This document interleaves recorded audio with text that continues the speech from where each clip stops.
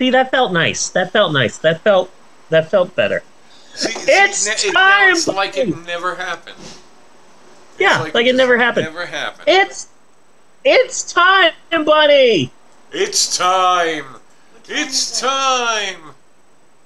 Yes, Bunny, my friend, it is time once again for all of us here on the Pope on Film podcast to twerk our way into the third part of our big shoe.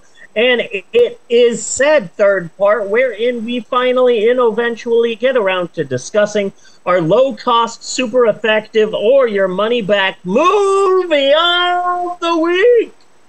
And this week we say goodbye to our summer of yo with a look at the ninth movie in the Rocky series, the Rocky List, Creed,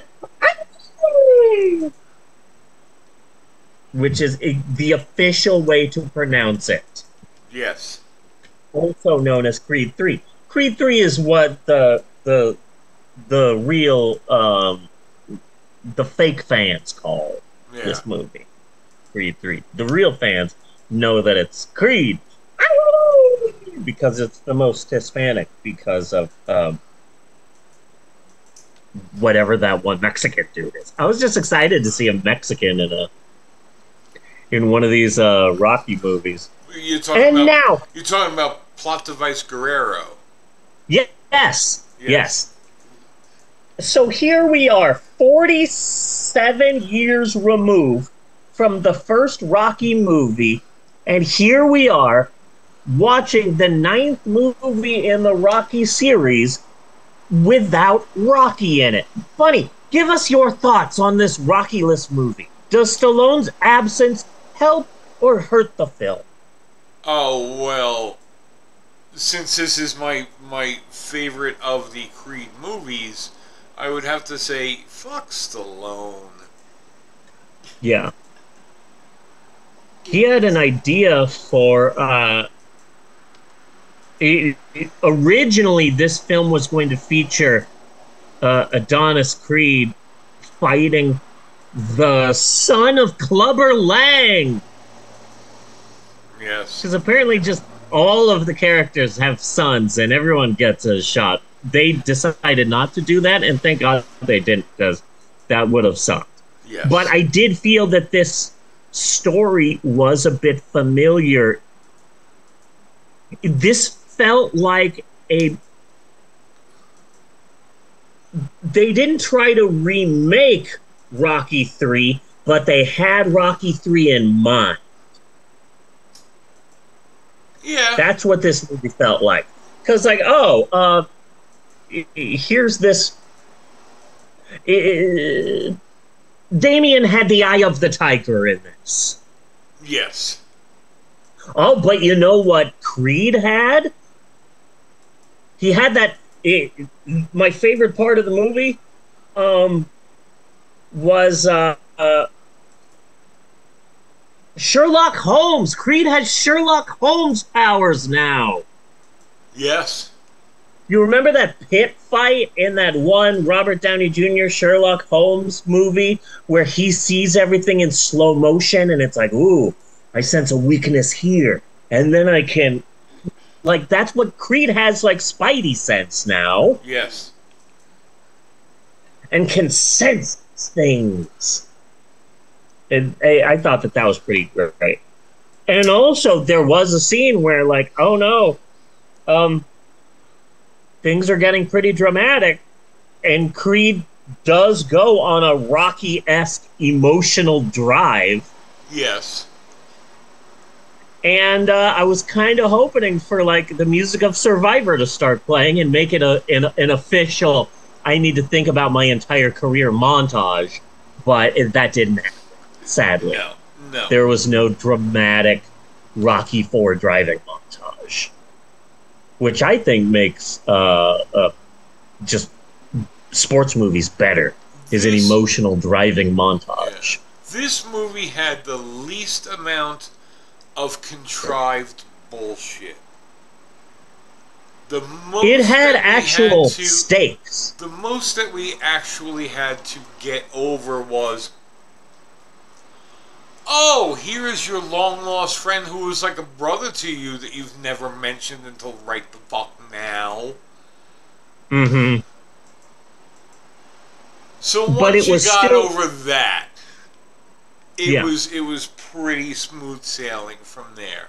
And hey, I I don't mind I don't mind John Majors being all pissed off. I mean, he never wrote him while, he was in the penitentiary or anything like that. Just like he never went to see Plot Convenience Guerrero in the fucking hospital. This was his boy. Didn't visit him once. And that's gonna start the the the new series. Yeah. Gonna all be all Guerrero all the time. So this is a 2023 movie, so it's new.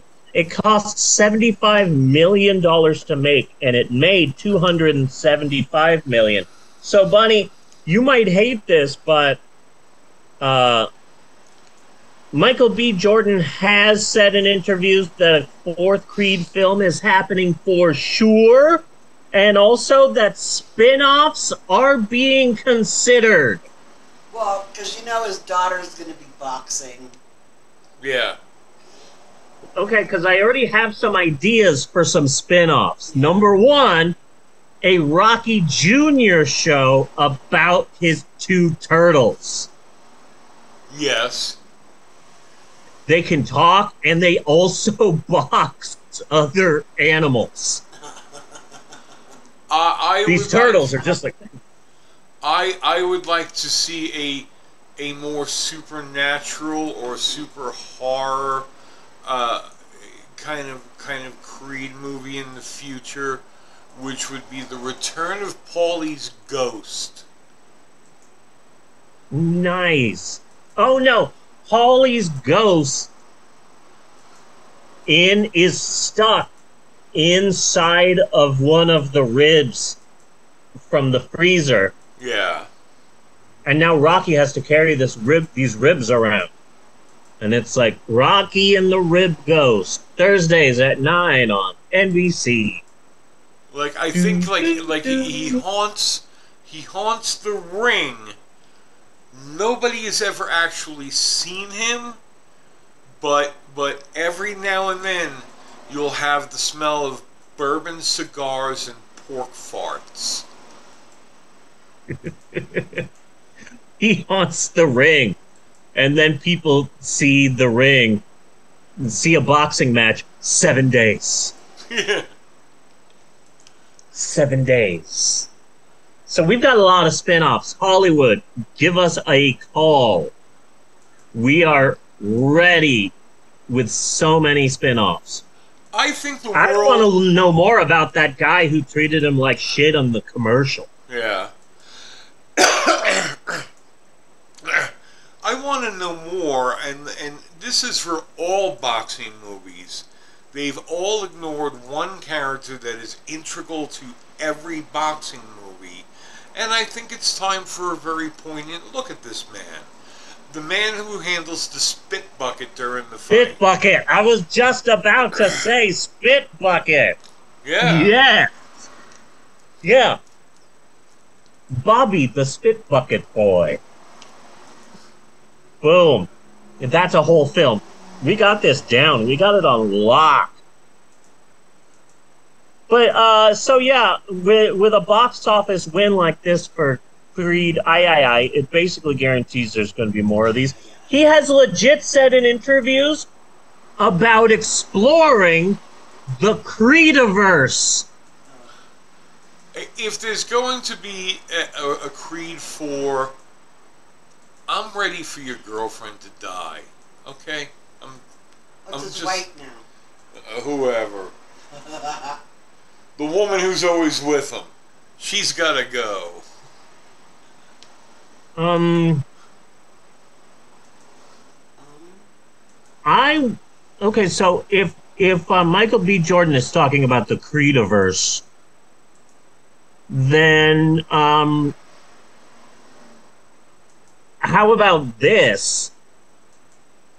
The deaf daughter grows up and becomes a fighter, but oh, look who had a daughter. Tommy Morrison. Uh oh. And they have a fight like outside of a well, probably not a bar, outside of a Claire's.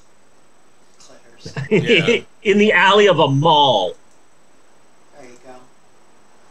Boom. Rocky Five. Meet you behind the. GMC, motherfucker. Yeah.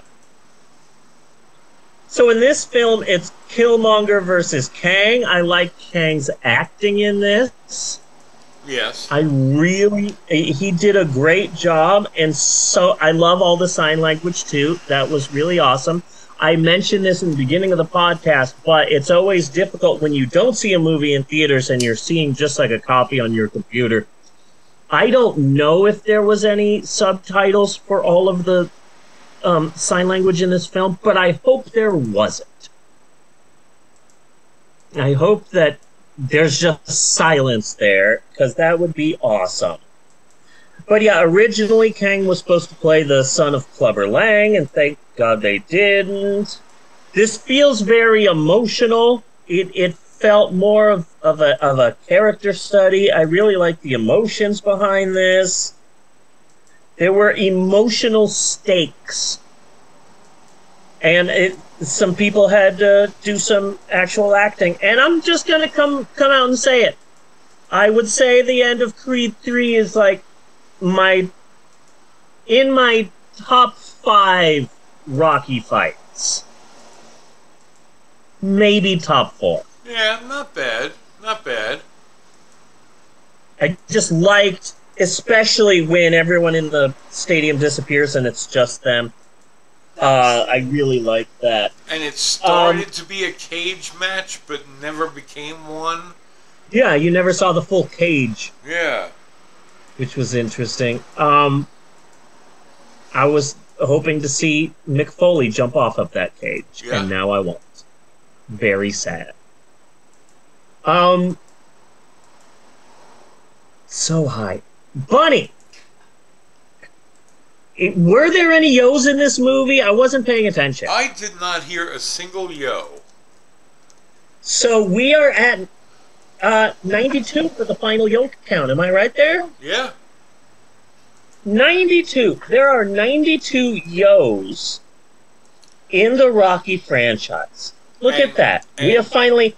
It spent. It, it took us the entire summer. And Creed 3 is tied with Boxing Helena for yos. There you go. Boom. Yeah, forgot about boxing. Boxing Helena. I'm sorry. I, I'm still standing by the mispronunciation. Boxing Helena. Huh? Yes. 92. 9.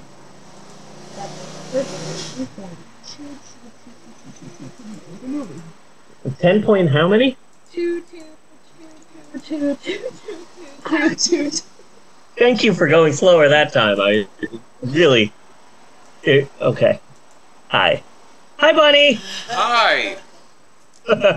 I'm doing. I'm doing great. Are Are you done mowing? Oh my god. Okay. Did we get a notice? Did we get a notice? I didn't think we did. No, we didn't. Yeah. Yeah. I, I noticed her the other day walking through the side, and it felt weird because of Amber. Uh, Bunny.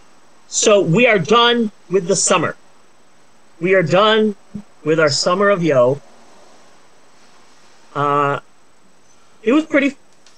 It was mostly fun. It was mostly harmless. We've had much worse summers than the summer of yo. As much as I Yes. hate Paulie, I'd rather be watching Paulie than uh, Baby Geniuses 2. Yes. Or I- I- Recep Evadik. I actually watched every one of them. Every Rocky? Yeah. Yeah, uh, five can still kiss time. my ass. I'm still pissed off at five. Yeah.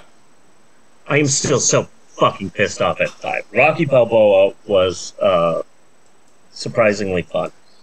Uh, so now that we are done with the summer, and now that we're getting closer to October, which is of course uh, on this podcast the month of Buntover, it is now time for Bunny to take over the podcast. So, Yes. join us next week when we begin celebrating Bunny Williams by watching. Okay. Well, it's finally time. It is finally time to pay tribute to the great Spanish director Pedro Almodovar. Okay. But because I couldn't find any of his movies that were that were not in Spanish and not subtitled, we will be doing Beast from Twenty Thousand Fathoms. Hell yeah. Okay. We will be Okay. honoring Spanish director Pedro Almodovar all month with 50 B horror movies. Hell yeah. We're, we're going to honor him with giant lizards, aliens, giant bugs, Can't forget the bugs. radiation. Thank you, you genius, Mr. Almodovar. Man, we are really going to be classing up the place by watching 1950s B movies to celebrate Almodovar and his work. I, this is going to be great. This is going to be great, and I am super excited. So now I have a bunch Uh, of now I have a bunch of Spanish movies on my on my Plex that I can't watch. Oh yeah, I, I have Volver. I have uh, All About My Mother.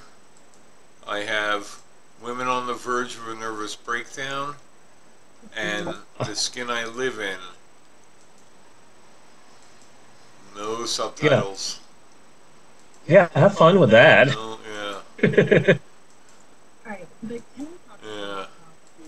can It, can it you was talk a good about? lineup. But we're, we're doing Beast from 50,000 to 20,000 Fathoms. Okay, it's on good. Cough It- Cough, which I'm sure Okay. you probably noticed. Good, good, good. Now hold on a second. No. Yeah. Couldn't do it best with that forehead, because her forehead don't look like that big. Yeah. Why they make her forehead look so big in there in that fucking sh- I do not know. That's quite. And also, like, you put her on the poster, okay, but she's hardly in the film. Well, it's about their family. I- You don't let him destroy what we think. Who and what? Nice, nice. Uh, what? we couldn't hear that. Yeah, we couldn't, Couldn't hear hear- Tasha. Oh, they couldn't hear you at all. That's exciting. I have no idea. No, they couldn't hear you. Yeah, Oh, I don't know. I was You should talking be louder. the- I was talking about the, their child's forehead. On the promo photo that you got up there, it's hella big, but in the movie, her forehead is not that big. In the beginning of this podcast, I thought I looked uh, so pretty, but now I look at myself in that little box and I feel like um, Joey Ramone is on hormone replacement therapy, and I don't like it. Oh, thank you, honey. She said Joey Ramone is beautiful. Uh, so that's all I've got this week for Creed. Aye, aye, aye. Do you have anything, Bunny? Regardless of her of her forehead height, I want her dead by next movie. Yeah, who's gonna die next? You get to a point in the Rocky franchise where it's like, who's dying in this one? I mean, she, I don't know. I don't know who died. Oh, uh, uh, uh, Heathcliff Huxtable's wife died in this one. Yeah, his mama. Yeah. she, she, died in this one. She's always picking a fight with him, and like she's not always right. And this and the one in this one was great, where where she's you've got to deal with your anger issues or whatever the fuck she was like, and I was like. he was fine until you came in the room. He was just Hmm. quietly, sadly drinking. That's all he was doing. Yeah. Damn, that's fucked up. Uh, what were we saying? I asked who died. Oh, okay. Yes. Uh, Okay, so she, you guys were putting bets on the girl dying in the next movie. yeah. Either the girl or The uh, mom. The, Duke the. Jr. I don't Okay. know. Just like So- stain going on. she's she's going deaf, Oh, and their kid is already deaf. Brain. She's deaf, and she gets brain cancer of the lungs. The lungs brains. That's exciting. Uh, the son of Duke.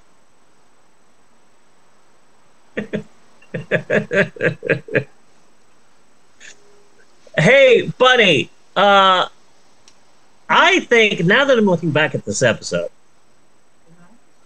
what? No. Who said that I was high? Not me. I'm not high at all. Um, but now that I'm looking back at this episode, the highs, the lows, the ups, the downs, the ins, the outs, the all abouts, I gotta say, I think this has been a pretty decent episode of the Pope on Film podcast. It has been a damn good episode. Okay, yes, thank you. Uh, I, I, I, Eleanor's in the car. Yeah.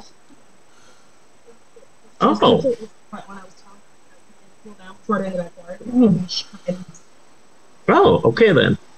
Um, I, I, I felt the same way about the podcast, Bunny, but I, Bunny looks like he has melted into the couch. He has become the couch. He is one with the couch. He is the couch, and I so I am so down with that. Yes, yeah. Uh, uh, Bunny is becoming Couchy, the cousin of Chairry from Pee-wee's Playhouse. Uh, I I 100% agree. I concur with your assessment, good sir. So until next week, I am one with the couch. And I am bloody, bloody Maylin, and on behalf, moths? What are you doing? I was um biting some of my skin. Okay. Um, and on behalf of Natasha and Eleanor and Maxwell and everybody else, I just want to say thanks for l- listening, and we will see you next week, you godless heathens. You, Thank you. Uh, You, I don't know how to do this. I don't know. I run out of. You, I ran out of. You, and you? I do. cookies. And you what? I do. I scream? I do. You scream. Don't scream. That's cute. Uh, do do do do do do do do do do. Cut and print. Uh, I, I, I. That's a wrap. I did it.